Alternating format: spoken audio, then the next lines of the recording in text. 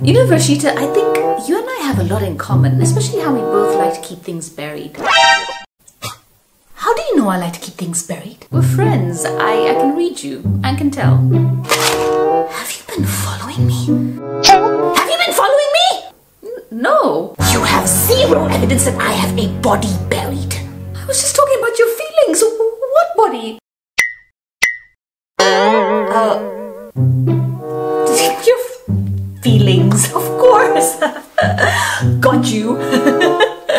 Joke.